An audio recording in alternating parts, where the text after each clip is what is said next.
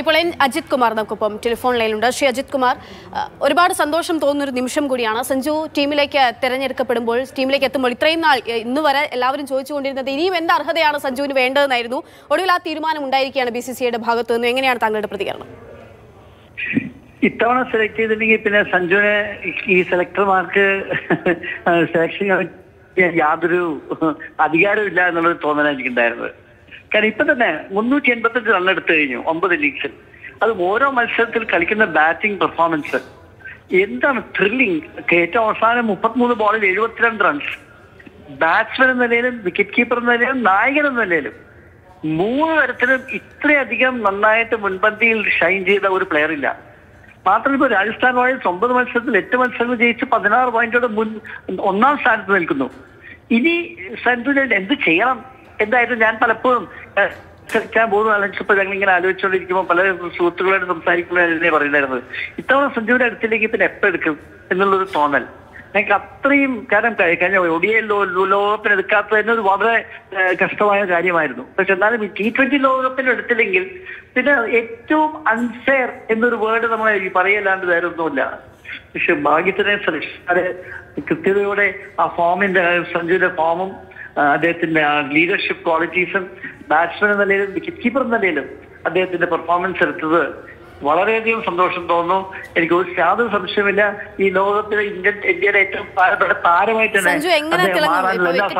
ഋഷഭ് പന്തും ഉണ്ട്. ഒപ്പം തന്നെ ഇരുവരും ബാറ്റ്സ്മാൻമാരുമായി പരിഗണിക്കാനുള്ള സാധ്യതയുണ്ട്. അപ്പോൾ എങ്ങനെ തിളങ്ങും സഞ്ജു എന്നുള്ളതാണ് അങ്ങ് പ്രതീക്ഷിക്കുന്നത്. അല്ല സഞ്ജുവിന് ഗുണം അദ്ദേഹത്തിന് ബാറ്റ്സ്മാൻ നിലയിലും ടീമിലെടുക്കാം ചിലപ്പോൾ ഋഷഭ് പന്തായിരിക്കും കീപ്പ് ചെയ്യണത് പക്ഷേ ബാറ്റ്സ്മാൻ നിലയിൽ അദ്ദേഹം നമ്പർ ത്രീയിലാണ് വന്ന് ബാറ്റ് ചെയ്യുന്നത്. ഇപ്പൊ കഴിഞ്ഞ മത്സരത്തിൽ തന്നെ ബട്ട്ലറും ജയ്സ്വാൾ ഔട്ടായപ്പോ നമ്മൾ വിചാരിച്ച് കളി പോയി സിക്സ്റ്റി ഫോർ ടു ആയിരുന്നു. ആ സമയത്ത് നിന്ന് സെവന്റി ടു റൺസ് എടുത്തിട്ട് ആ വൺ നയന്റി സെവൻ എത്തിച്ചത്. അത് കണ്ടാൽ പിന്നെ അറിയാമല്ലോ ഇതൊരു നല്ല പെർഫോമൻസ് ആണ് ഇട്ടത് ആ രണ്ടാമത്തെ മനസ്സിലാവും അദ്ദേഹം ഒരു ബാറ്റ്സ്മാൻ നിലയിലും ഇപ്പൊ നമ്പർ ത്രീ എന്ന ബാറ്റ്സ്മാൻ ഇപ്പൊ ഇന്ത്യയ്ക്ക് നമ്പർ ത്രീ ഇപ്പൊ വിരാട് കോഹ്ലിയാണ് വരുന്നത്. വിരാട് കോഹ്ലി വരുന്നത് കൊണ്ട് കുഴപ്പമൊന്നുമില്ല. അപ്പൊ നമ്പർ ഫോർ എന്ന നിലയിൽ എപ്പോഴും നമ്പർ ഫോർ പൊസിഷൻ ഇന്ത്യയ്ക്ക് ഒരു വീക്ക് സ്പോട്ടാണ് ഇപ്പൊ നമ്പർ ഫോർ പൊസിഷൻ ഏറ്റവും നല്ല സൂട്ടബിൾ സഞ്ജു തന്നെയാണ്. യാതൊരു സംശയമില്ല അപ്പൊ ആ നമ്പർ ഫോർ ബാറ്റ്സ്മാൻ ബാറ്റിംഗ് സ്പോട്ടിലും അദ്ദേഹം നമുക്കൊരു എഡീഷണൽ വിക്കറ്റ് ഒരു എനിക്ക് തോന്നുന്നു സഞ്ജുവിനെ പ്രിഫർ ചെയ്യുള്ളൂ കാരണം അദ്ദേഹം ഉണ്ടായ നമുക്കൊരു എഡീഷണൽ ബാറ്റ്സ്മാൻ കൂടിയാണ്. ഋഷഭ് പന്തിന്റെ ക്വാളിറ്റീസിനെ കുറിച്ച് ഞാൻ ആ, രണ്ടു കാരണം ഇപ്പം ബാറ്റിംഗ് നിലയിൽ നമുക്കറിയാം മുന്നൂറ്റി എൺപത്തഞ്ച് റൺ ഋഷഭ് പന്ത് മുന്നൂറ്റി എൺപത്തഞ്ച് റണ്ണാണ് സഞ്ജു ഇതുവരെ എടുത്തിരിക്കുന്നത്. മുന്നൂറ്റി എഴുപത്തി ഒന്ന് റൺസ് ഋഷഭ് പന്ത് എടുത്തിട്ടുണ്ട്. ഋഷഭ് പന്തിന്റെ ആ എയ്റ്റി ടു നമ്മൾ മറക്കാൻ പറ്റില്ല. അത്രയും നല്ല ഇന്നിങ്സ് ആയിരുന്നു.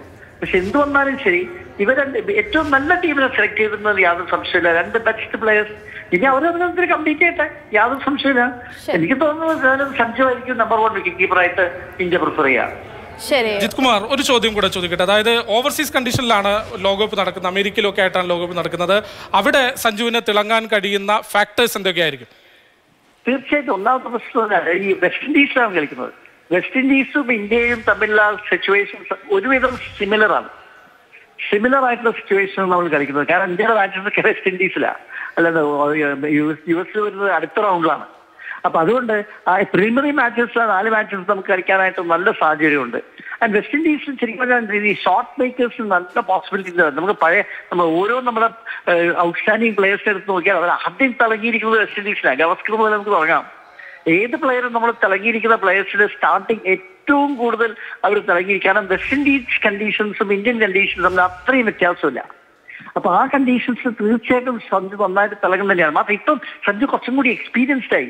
പഴയ സഞ്ജു അല്ല നമ്മൾ പണ്ട് ഡെബ്യൂൽ സിംബാബ്വെ ആയിട്ട് മോശമായിട്ട് പറ്റിയ സഞ്ജു അല്ല ഇപ്പോൾ ഉള്ളത്. കുറച്ചും കൂടി മെച്യൂർ ആയിട്ടുണ്ട്. അപ്രോച്ച് വളരെ കറക്റ്റ് ആണ്. ബോളർമാരെ സെലക്ട് ചെയ്തിട്ട് ഹിറ്റ് ബാറ്റിംഗ് അദ്ദേഹം ആ പഴയ ഇമ്മച്യൂരിറ്റി ഒക്കെ അദ്ദേഹത്തിന് മാറിയിട്ടുണ്ട്.